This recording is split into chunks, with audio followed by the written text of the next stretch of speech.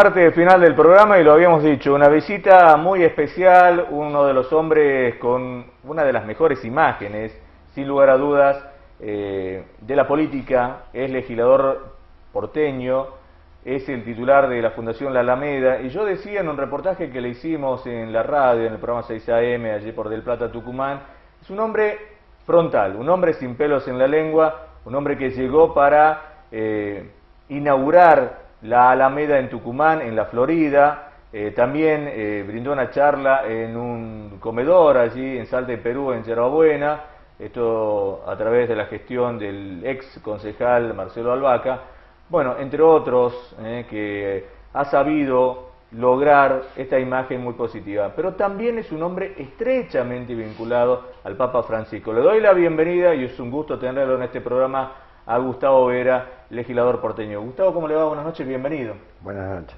Bueno, un gusto tenerlo aquí en los estudios de, Canal 5. ¿eh? Gracias por invitarme. Bueno, eh, cuéntenos primero, ¿cómo, cómo vivió esta, esta posibilidad de eh, instalar esta fundación que usted tiene hace más de 15 años? 15 años. 15 años eh, en Buenos Aires, en Tucumán. ¿Por qué eligen la Florida, Gustavo? Porque en la Florida fue el epicentro de un hecho muy grave que se lo que para nosotros fue el asesinato de Viroche, que lo estamos investigando en el Fuero Federal, con eh, una causa que tiene una dinámica totalmente diferente a la que tramita el fiscal López Ávila, que se circunscribe una supuesta cuestión pasional que nosotros descartamos de plano porque tenemos relación directa con todas las personas allegadas al, padre. Eh, y hemos investigado, la verdad, hace seis meses que estamos investigando eh, sistemáticamente todo pero nosotros empezamos al revés, empezamos por las cosas que el padre Juan denunciaba, o sea, la zona de narcotráfico, la zona de tránsito pesado, la zona de trata sexual infantil, la zona donde había trabajo forzoso, por de alguna manera, las cuestiones clientelares bastante graves de extracción de parte del salario de los trabajadores de manera obligatoria y compulsiva, eh, todas estas cosas que el padre Juan venía denunciando, la cantidad de denuncias y amenazas que recibió él y su familia, y después, bueno, todo el escenario que se armó, eh, donde la causa realmente de López Ávila está muy floja de papeles, este, yo creo que va a terminar siendo con el tiempo uno de los papelones jurídicos de Tucumán más importantes de su historia. No en vano Francisco dijo la causa del padre Viroche va a ser como la de María Soledad Morales. Así empezó la de María Soledad Morales, vos recordarás, en Catamarca toda una sociedad se le hizo creer que la chica era una chica de costumbres ligeras y que había muerto, bueno, un poco casi por culpa de ella. Este, pero bueno, la hermana Marta Peloni, unos pocos familiares de María Soledad, sus padres, unos pocos compañeras y padres del colegio, eh, empezaron a trabajar y a trabajar y a trabajar y bueno, tirando de la cuerda, vos sabés que después cayó todo un régimen, porque había todo un sistema de complicidades muy grande. Nosotros sentimos, tenemos la percepción, y Francisco tiene la misma percepción, de que detrás de esta causa eh, están ocurriendo muchas cosas y de alguna manera que la Alameda esté en la Florida es eh, hacer eh, justicia, digamos, este, por, por estas cosas que denunciaba Juan, que nosotros pensamos darle continuidad. O sea, desmantelar concretamente el circuito del narcotráfico, el circuito de la trata, el circuito del abuso sexual infantil, Hace pocos días hubo un hecho grave con una chica eh, que tenía alguna eh, discapacidad, este, que fue abusada, que fue violada en Delfín Gallo, en una zona que era denunciada por el padre Juan y que está denunciada en la causa judicial, con lo cual queremos empezar a trabajar el tema de las denuncias de todas las mafias que hay en esa zona, queremos trabajar por la recuperación de los chicos que están en situación de adicción, queremos ver en qué podemos cooperar con la pastoral de adicciones y con todos los sectores de la comunidad que están trabajando. Queremos ver de qué manera se empieza a fomentar mucho más fuertemente la cultura y el deporte como alternativas existenciales a muchos chicos que hoy no tienen ningún tipo de contención. Es decir, que la elección de la Florida no es para nada casual, ustedes han realizado una tarea de investigación y que la fundación que usted preside llegue a, la Florida le va a dar un impulso especial a todo esto, ¿no? La Alameda en todos los lugares donde existe y existe muchos lugares siempre ha surgido de la ceniza de algún drama social. ¿sí? Por ejemplo, en Córdoba nosotros agrupamos a los vecinos que están en el barrio Malvinas, este, que bueno, fueron los vecinos que se opusieron a la instalación de Monsanto.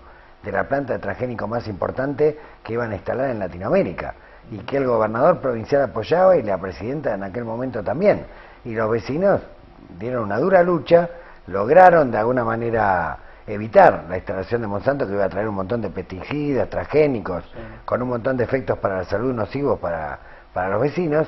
Eh, y después eh, es tanto lo que creció ese movimiento que se presentaron a elecciones municipales, perdieron por 100 votos, tienen la mitad del Consejo Deliberante y están de alguna manera con grandes chances de que en la próxima elección este, los propios vecinos dirijan su, su municipio. Eh, Río Gallego, nosotros tenemos una alameda que ha crecido con la denuncia de lo que fueron las casitas de Río Gallego, uno de los lugares de trata sexual más emblemáticos que había, más graves, ¿no? emblemáticamente graves, que había en el sur de la, de la Argentina. En Mendoza, a partir de las denuncias de trabajo infantil en el ajo, en la cebolla. En Mar del Plata, con el trabajo infantil en la fruticultura. En Capital Federal, con la denuncia de los talleres textiles clandestinos, es decir, donde se incendiaron en Caballito en el año 2006, murieron seis costureros. Ahora en el 2015, 2015 murieron dos chicos, taller de la calle Páez. Bueno, en medio de todas esas tragedias, esos dramas, las inundaciones de La Plata, la tragedia ferroviaria de Once, en medio de todos esos dramas siempre, de alguna manera, los vecinos han acudido a la Alameda como una organización confiable y alrededor de la búsqueda de la verdad y de la justicia hemos logrado estructurar, digamos, una organización muy sólida que no depende de planes, que no depende de aparato, que tiene muchísima gente colaborando en redes de fuertísima solidaridad. Bueno, un tema importante también es el tema del laudato, todo lo que tiene eh, el mensaje de, Francisco. ¿Cómo han trabajado?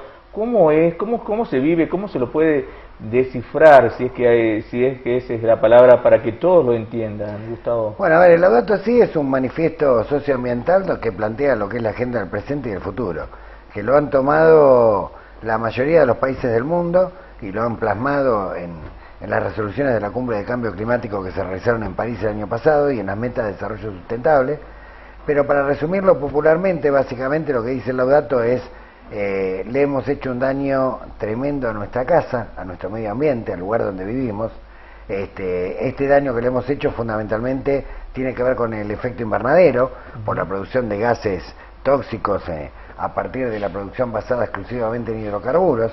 Y esto está generando un cambio climático y si no cambiamos el sistema de energía a tiempo, en 25 o 30 años, lo que hoy está viendo en el sur de Tucumán puede ser algo generalizado a escala de un montón de países, sí, sobre todo países costeros. Entonces hay de alguna manera todo un debate internacional que ha instalado Francisco respecto a empezar a generar las condiciones para transitar hacia la energía solar o eólica, que es mucho más económica por otra parte y es mucho más sana y eso podría evitar la desaparición de países enteros, porque esto es una conclusión de científicos. Después, cuestiones que tienen que ver con, con el uso de pesticidas, transgénicos, herbicidas, el monocultivo, eh, la desertificación, la deforestación, la sojización, que nosotros hemos visto la pampa húmeda ahora toda inundada, después de que los puros de siembra se cansaron de sembrar soja, soja, soja y no respetar los ciclos de la, de la tierra, rotando los cultivos como corresponde, lo mismo tenés en Córdoba. este, lo mismo pasa con la ecología urbana. O sea, porque también la encíclica Laudato Si habla de la defensa del patrimonio cultural de cada pueblo, que el patrimonio cultural no es solamente una estatua o un cuadro, a veces es un bar histórico, a veces es un lugar que tiene mucha eh, identificación emocional con los vecinos. Francisco plantea que la destrucción de lugares de patrimonio histórico es equivalente casi a la extinción de una especie, porque es la pérdida de identidad de los propios vecinos. Y esto está ocurriendo en muchas urbes, por ejemplo en Córdoba, por ejemplo en Gran Rosario, por ejemplo en la ciudad de Buenos Aires, donde muchas veces se se llevan puesto un montón de monumentos de lugares históricos muy queridos por los vecinos para construir grandes torres y proyectos inmobiliarios al servicio de grandes corporaciones. La encíclica socioambiental también dice que esta sociedad, este, así como está estructurada en función de la máxima ganancia, en función del paradigma tecnocrático, en función del consumismo desenfrenado, lo único que provoca es cada vez más exclusión. O sea, cuanto más desarrolla la tecnología, en vez de incluir más, más excluye. A eso lo llama Francisco cultura del descarte. Y en ese descarte es donde empieza a aparecer una alta situación de vulnerabilidad de gente que este, en esa situación extrema, sin trabajo, sin perspectiva, sin horizonte, son presos de las nuevas formas de esclavitud. La trata, el narcotráfico, el tráfico de órganos, el trabajo esclavo, las migraciones masivas a centros urbanos que no los pueden absorber y entonces se empiezan a formar favelas, villamiserias, asentamientos y lugares donde hay un caldo de cultivo para explotaciones salvajes. Entonces, ¿qué dice Francisco? Dice, bueno, tenemos que reformatear el planeta de otra manera. Hay que restablecer el equilibrio entre los seres humanos y el equilibrio entre los seres humanos y la naturaleza. Tenemos que entender que estamos primero de paso por esta tierra y que tenemos el mandato, el deber de dejar esta tierra mejor de lo que la encontramos para las futuras generaciones. y aunque no seas creyente, eso es un deber de la especie, casi un instinto de la especie. Y en segundo lugar, tenemos que tratar de estructurar la sociedad en función de las mujeres y los hombres y no de la máxima ganancia. Por lo tanto, a la hora de planificar la producción, ¿sí? Eh, nosotros no podemos reemplazar tecnología por personas. Las personas están en primer lugar y esas personas para que tengan dignidad tienen que tener trabajo, no planes, trabajo. Entonces, de alguna manera, el Laudato Si acá en Argentina está empezando en muchos pueblos a ser tomado y leído, porque aparte encuentra una, un antecedente en un texto muy querido por muchos argentinos, que es el Proyecto Nacional. Es el, casi el testamento político de Juan Domingo Perón, que también planteaba cuestiones parecidas respecto al universalismo, respecto al cuidado del medio ambiente, respecto a la necesidad de construir una comunidad organizada basada en la hermandad y en el cuidado de la naturaleza y no en la máxima ganancia, y también encuentra sus raíces, obviamente, en la doctrina social de la Iglesia. Así que, en este aspecto, hoy el Laudato Si es un texto que reivindica no solamente el mundo católico, sino también todas las religiones del mundo, lo han tomado como un texto de unidad, como un texto de trabajo interreligioso, los budistas, los hinduistas, la Iglesia Ortodoxa siria, rusa, griega, los luteranos, parte del Congreso Judío Mundial, eh, incluso sectores que no son creyentes, como Naomi Klein, como la agrupación Podemos en España, se lo está traduciendo al iraní, eh, en este momento la Academia de Ciencias de Irán, o sea, digo para que te des una idea, el Laudato sí ha sido de alguna manera un texto que ha logrado generar, un ha empezado a generar un consenso mundial a favor de las sociedades inclusivas y un consenso a favor de paremos con esta destrucción del planeta porque si no el planeta nos va a pasar la factura. Ya nos está pasando la sin factura. Sin lugar a dudas. Ahora lo llevo a usted hablamos del Laudato sí y hablamos ahora de la figura de eh, Francisco. Bueno, usted es un hombre muy cercano a él. Y la pregunta que se hace mucho es, eh, algunos lo ven como un político, algunos creen que se inmiscuye eh, en problemas políticos de la Argentina. Eh, algunos estaban muy contentos, y digo, por ejemplo, el grupo Clarín, después gente del mismo grupo Clarín salió a criticarlo porque recibía mucho más a Cristina, eh, a la Cámpora, algunos enviaban cartas eh, a su gente, pero fue muy criticado Francisco. También dijeron a Macri no lo recibió tanto como a Cristina, lo tuvo pocos minutos. ¿Es tan así? ¿Es, tan político o es peronista? ¿Cómo, se lo denomina? Porque algunos lo denominan así. A ver, eh, en los diez mandamientos, el mandamiento más importante es amar a tu prójimo como a ti mismo. ¿sí? sí. Eh, lo dice la propia Biblia. Si yo tuviera que resumir, amar al prójimo como uno mismo es el mandamiento más importante. Eh, la política, y esto estoy citando a Juan Pablo VI, es la forma más alta de caridad. O sea, la forma más alta de amar al prójimo como uno mismo tendría que ser la política, que es la preocupación por la comunidad.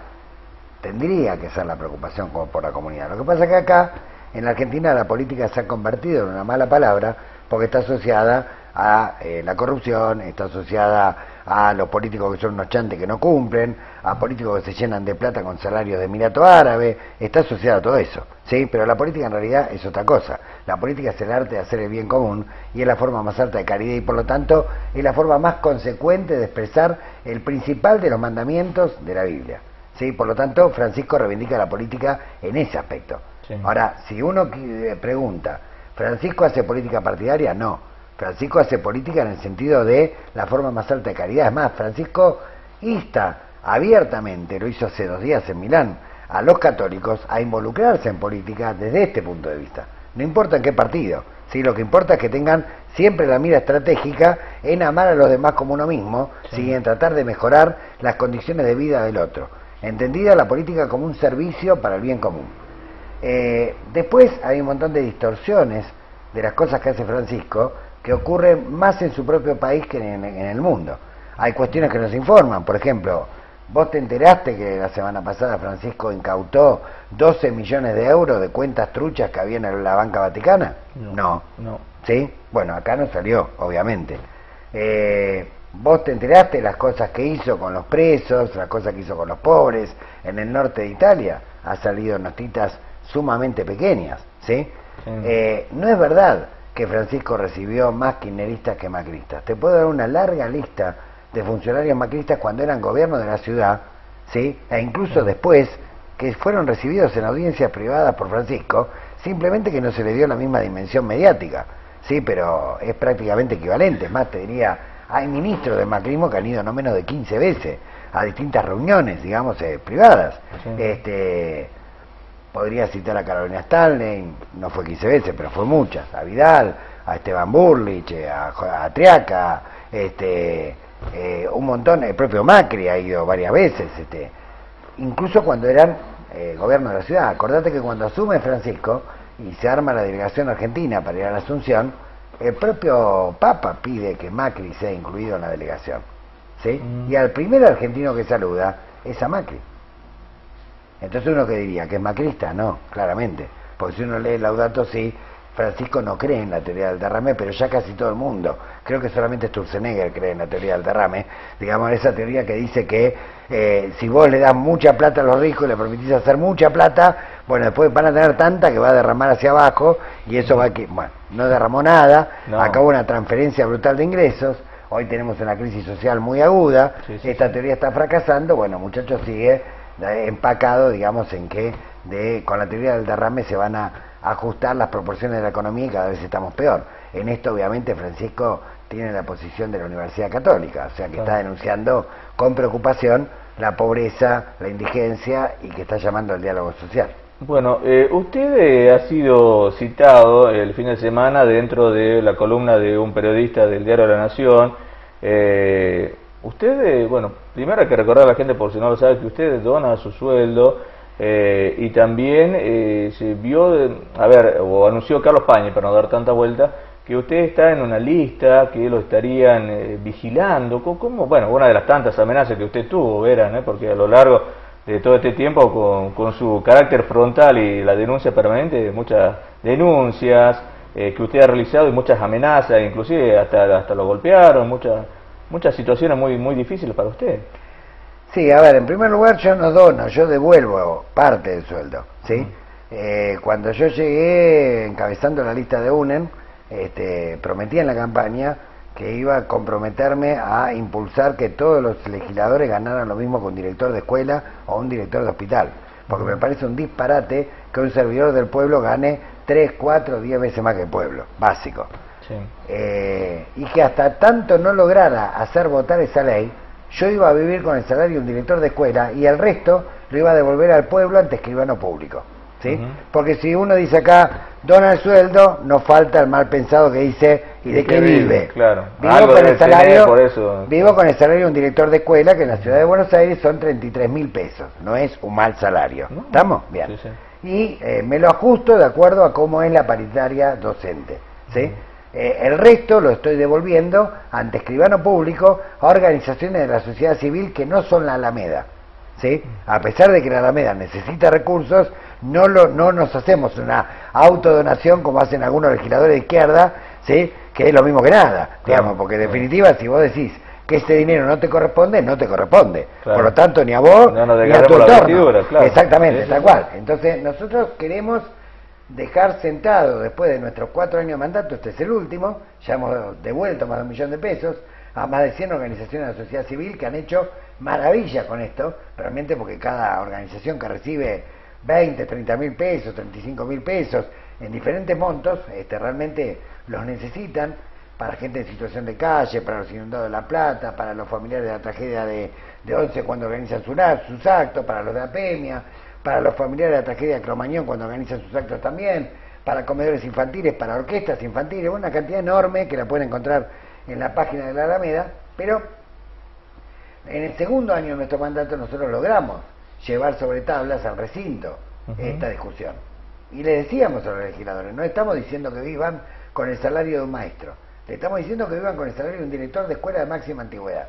O sea, lo que se supone que es el cargo más noble, jerárquicamente hablando, digamos que hay en una institución estatal. O un director de escuela o un director de hospital que tiene más o menos el mismo salario.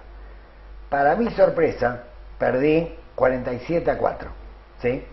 Todo el Frente para Victoria, todo el PRO, todos los radicales, toda la coalición cívica, votaron todos juntitos. No tuvieron la más mínima disidencia. ¿Usted lo unificó a eso? A la hora de defender el bolsillo, ¿sí? y a la hora de vivir ¿sí? como duques, no tiene ningún problema. Uno dirá, bueno, pero lo que importa es la productividad, es cuántas leyes sacás. Bueno, les aclaro que nuestro bloque, ¿sí? sobre 60 diputados, somos uno solo y somos el tercero que más proyectos de ley, resoluciones y pedidos de informe presentó a lo largo de su historia. Por lo tanto, no es incompatible vivir con un salario relativamente normal, con tener un nivel alto de productividad. Esto sin contar las denuncias judiciales, los amparos, eh, situaciones como esta de Tucumán y de otras provincias que venimos y estamos permanentemente asistiendo. Por lo tanto, este, creemos que la política argentina no se va a sanear hasta que no empecemos a imitar un poquitito a Francisco, hasta que no empecemos a imitar un poquitito al Pepe Mojica,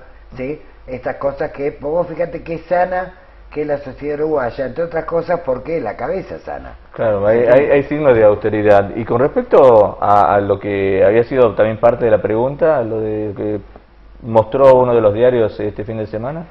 Bueno, eh, obviamente te imaginarás, a ver, yo entré a la legislatura con una moto 125, ¿sí? Mi patrimonio actual es una moto 125, alquilo, este, vivo con lo justo. Claro, claro. Este, no tengo ninguna propiedad, tampoco mis familiares más cercanos, que son todos también gente que alquila y gente muy trabajadora y común y corriente, por lo tanto por mi patrimonio no me están investigando, ¿sí? Eh, por vida lujuriosa tampoco, porque tengo una vida muy ascética. Así que evidentemente lo que estamos en presencia de una persecución política e ideológica de un gobierno que le molesta que le diga la verdad, eh, que le molesta que le digan que a pesar de que se comprometió a, luchar contra el narcotráfico, seguimos siendo el tercer exportador mundial de cocaína. Y los puertos, aeropuertos y aduanas siguen siendo una joda. ¿sí? Y las mafias como la Drangueta, el cartel de Sinaloa, el cartel de Rosetta, carteles colombianos tienen una altísima presencia en Argentina y los funcionarios se siguen haciendo los distraídos. ¿sí? Y el jefe de la federal que tenemos era el mismo que era el jefe de la división de drogas peligrosas del gobierno anterior y el jefe de la bonaerense era el mismo que era el jefe de división de drogas peligrosas de la bonaerense anterior. Entonces, si era tan malo el otro gobierno en materia de narcotráfico, ¿por qué revalidás a sus propios jefes? Lo mismo está pasando a escala provincial. En cada provincia pasa exactamente lo mismo. O sea, el gobierno se había comprometido a tres cosas. A reducir la pobreza, creció escandalosamente. Más de un millón, un millón trescientos mil pobres más, más de seiscientos mil indigentes más se comprometió a reducir el narcotráfico, sí, tal vez el de consumo interno, porque la gente no tiene ni para comprar, inclusive hasta los adictos tienen problemas para consumir, digamos, este droga. Pero lo que tiene que ver con el corredor eh, de logística y de exportación, esto sigue el viva la pepa como si nada hubiera ocurrido. Es más, eh, Macri lo vivió en persona, él viajó en un avión que volvió de Barcelona con 65.000 pastillas de estas y que pasaron todos los escáneres hasta llegar al aeroparque un papelón total. El presidente viajando en un mismo avión donde vienen 65.000 pastillas de éxtasis. Eh, no sé qué relación esto, tiene esto con, con que a los dos días se apuró para concesionar 135 rutas aéreas para carga y transporte, pero bueno, la verdad que las casualidades, casualidades no existen, pero que las hay, las hay. Lo que quiero decir concretamente es que se comprometió la unidad de los argentinos y hasta ahora la única unidad de los argentinos que está provocando es la del paro del próximo 6 de abril, que va a parar hasta hasta el loro, digamos, porque realmente 7 de cada 10 argentinos no están llegando a fin de mes. Porque 7 de cada 10 argentinos cobran menos de 25 mil pesos, que es lo básico para que una familia tipo pueda llegar a fin de mes sin capacidad de ahorro. Entonces yo supongo que nos espían porque molestamos demasiado. Alguien decía en su momento, la, semana pasada, dice, ya no existe la grieta, ahora todos están contra Macri. Dijo vamos a decirlo, eh, el ex eh, secretario de Comercio Guillermo Moreno.